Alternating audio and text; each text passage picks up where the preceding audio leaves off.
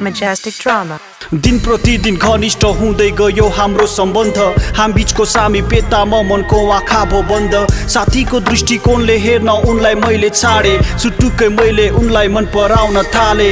लजाउँदै लुकाउँदै राखे आफ्ना भावनालाई। मौका नखोजेको हो यिन तिनलाई फुकाउनलाई। म हिचकिचाउँथे भन्दा एक प्रकारको डर थियो। छेनीका आकर्षण हो कि या भन्नलाई होला छिटो। चौध वर्षमै पहिलो मायाको पो अनुभव। लाग्थ्यो अल्छी लाग्ने कक्षानी उनलाई देख्दा गजब। ससाना कुरामा खुसी हुने उनको त्यो बानी। देख्दा लाग्दथ्यो सुहाउँछ हाम्रो प्रेम कहानी। फेरि उनको सामु पुग्दा किन बढ्थ्यो ढुकढुकी? बोली फुट्ने गाह्रो हुन्थ्यो मनमा लाग्थ्यो काउकुती। ख्याल ठट्टामा नाम जोडिँदा खै किन मन रमाउँथ्यो? हाँसिदिँदा उनी फेरि मेरो धरती जगमगाउँथ्यो। उनलाई साथी उडी जम्की म त्यो बादल पारी खाली मनको उनकै मायाले शृङ्गारी। समर्पित उनकै नाममा बाँकीको यो जिन्दगी।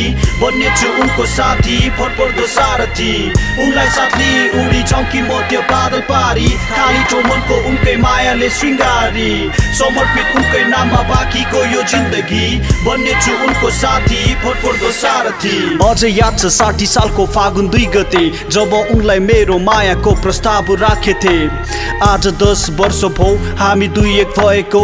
धन्य छु खुसी छु आखिर उनी मेरै भो उनी नै मेरो निम्ति मायाको एक पर्यावाची अङ्गालो उनको स्वर्ग मेरो मनको सन्तुष्टि थकाइ लागे उनलाई बन्ने छु म सिरानी ओखती उनी मेरो मोहु मायाको बिरामी उनको साथ म बिर्सी जान्छु हरेक दुःख कष्ट मेरो खुसी देख्छु म उनको वाखा मानी प्रष्ट अब असम्भव उनी बिना मेरो अस्तित्व अर्धाङ्गिनी उनी मेरो सुख दुःख सर्वस्व स्वीकार्छु हरेक बाधा केवल उनकै निम्ति मात्र कायम रहोस् हामी बिचको मिठो पिरती।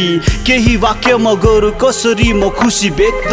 पहिलो माया आफ्नो मनलाई हुँदा उपयुक्त। उनलाई साथी उडी चम्की म त्यो बादल पारी। खाली मनको उनकै मायाले शृङ्गारी। समर्पित उनकै नाममा बाँकीको यो जिन्दगी। बन्नेछु उनको साथी फटपर्दो सारथी।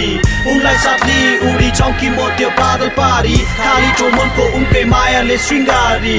समर्पित उनकै नाममा बाँकीको यो जिन्दगी। बन्नेछु उनको साथी फटपर्दो सारथी।